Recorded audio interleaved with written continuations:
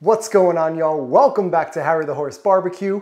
And today we're making some illegal ribs. That's right, these ribs are about to break the law. Stick around if you want to find out what it's all about. Let's get it. Harry the Horse Barbecue.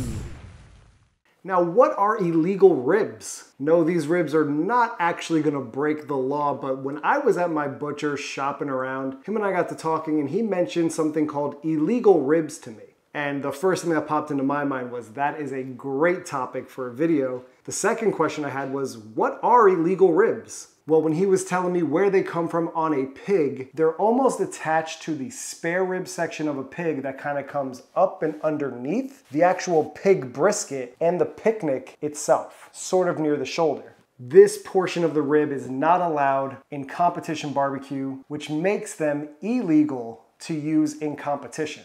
Now I already know they're gonna be so good that they should be illegal. So in order to make these illegal ribs, we gotta go shopping for something illegal.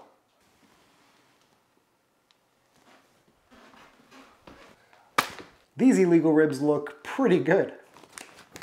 And if you can see, I'm not making this up. They're even marked in the butcher shop as illegal. Crazy. Now what I've gotten here are two sections of illegal ribs. They're not that big, sort of similar to like a pork brisket size or the end of a spare rib section. I already know these are gonna be high quality and probably so good that they're gonna be illegal. Enough horsing around, let's get these illegal ribs out of the pack.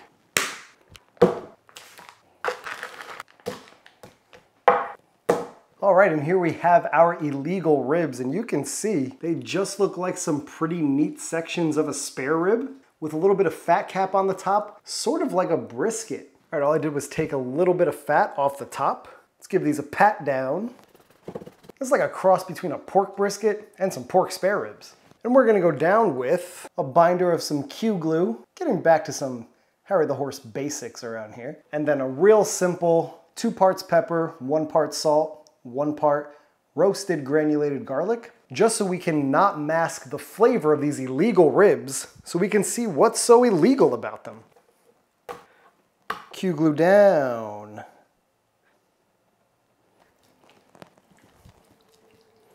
Nice and generous with this rub. Give them a flip. And over the top. That rub is looking real legal on these illegal ribs. These illegal ribs are all seasoned up and they're ready for the cooker. So let's go fire up the cooker.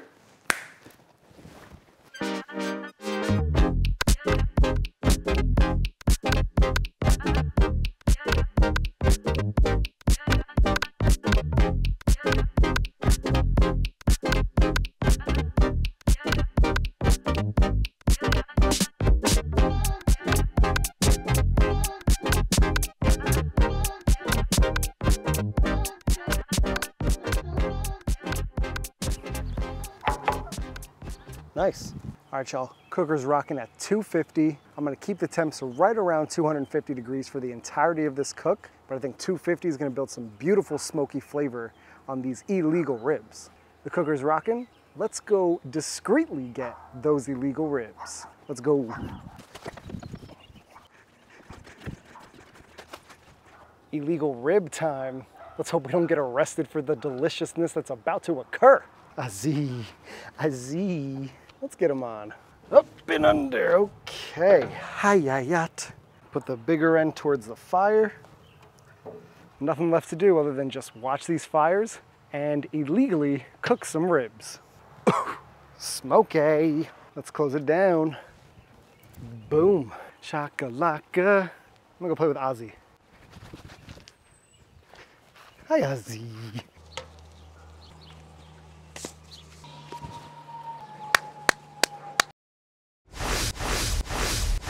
All right, y'all, three hours in on these illegal ribs, and it is a hot one out today, and my shirt is dirty, and it looks like I've been doing some illegal stuff out here. With that being said, let's take a look at these illegals and give them a spritz down. Ooh, hey, they're looking fantastic. One thing to note here, y'all, is that I have not been cutting down my splits into smaller splits. I've been using basically the smallest splits I can find in my pile and just throwing them on the fire. It's been holding a pretty solid 250 degrees this entire time, so I'm not mad at the lazy fire management. Let's take a look. You can see how both racks are starting to curl a little bit, but I haven't really been running the fire hotter than 260. Let's spritz them down.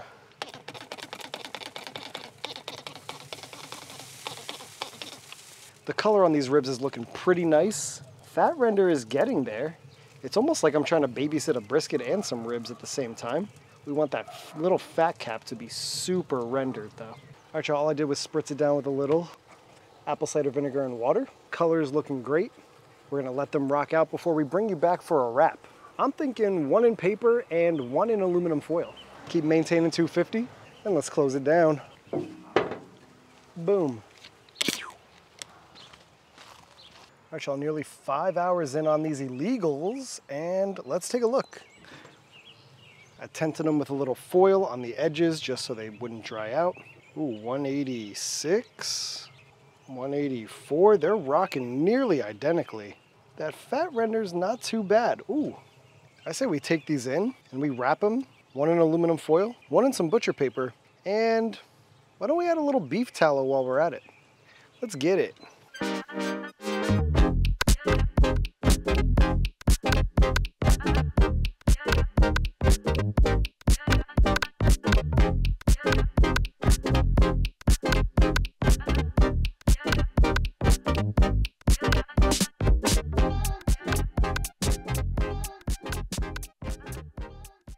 Right, about five hours in the smoke and then about an hour wrapped in the cooker, then about a 45 minute rest, and these illegal ribs have done their time. So let's unveil these bad boys.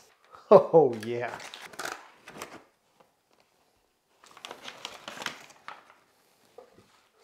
It's looking like the foil washed away a little bit of the bark on this one, and the bark stayed pretty much intact for the paper wrap. I'm thinking we start with the foil wrap. Let's see what's so illegal about these ribs. I mean, it's looking pretty much like a normal spare rib right out of the gate, but this texture is looking a little different and we still have a little bit of a fat cap up there. Let's see how we did on these. It's looking good. Mmm, wow. Mmm. Wow, that's got a different texture than a spare rib, but look at that cook on that. That is perfectly done. But that meat is a little different. That meat almost is, it's almost pulled pork-esque, but then has sort of like a, like a brisket flat sort of texture, which makes total sense based on where this is located on the pig. Yeah, definitely more of like a pulled pork kind of taste. I could see why these would be illegal. That is fatty, it's moist, super easy to cook. You got a little bit of that fat cap on top. That's a perfectly cooked rib. Some of those crispy edges. Mmm. And say what you want about using beef tallow. Man, it adds such a rich decadence to this. Nothing wrong with it. Let's see what these butcher paper illegal ribs are bringing to the table. Don't sleep on these little baby end cuts. That's gonna be a mouthful of goodness. Ooh, we gotta go same rib because we got that extra bark on the outside. That's looking good. Same deal, great smoke ring in there. Sort of a different texture than a spare rib up top and a little bit of that fat cap. Here we go. That is clean. Mmm. These ribs are gonna need an attorney because they're committing a crime of deliciousness. Man, I can see why these are illegal. This illegal rib is not horsing around. Mmm.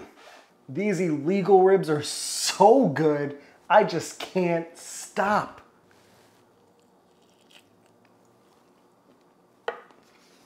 Mmm.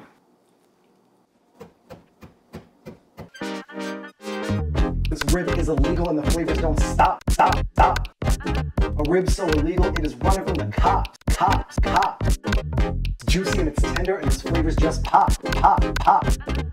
I totally get why these are called illegal ribs and why people cannot use them in competition. It's just not fair. Thank y'all for tuning in to Harry the Horse Barbecue. I really appreciate you checking out this video. Now these illegal ribs have basically been kept locked behind bars, so they might be difficult to find out in a regular grocery store. In fact, I've never seen them ever before until I talked to my butcher. So go out there, go to a local butcher and mention illegal ribs and see what they have to offer. It is a unique experience and it's individualized from a traditional spare rib. You guys gotta give this a try. Make sure you subscribe to the channel below. I know you wanna do it, so just hit that subscribe button. You know we got a nice crispy fatty exterior on the outside of these illegal ribs, so leave a like on this video. Leave a comment down below if you've heard of illegal ribs before, and let me know if you've cooked them before. Make sure you hit that notification bell so you get notified every time we're posting new content. And you can follow me on Instagram at Harry the Horse Barbecue. Tag me so I can see what y'all are cooking because it really inspires me to get outside and cook. And with that being said, there's only one more thing, y'all. This one is going straight to the horse's mouth. We'll catch y'all in the next one. Peace!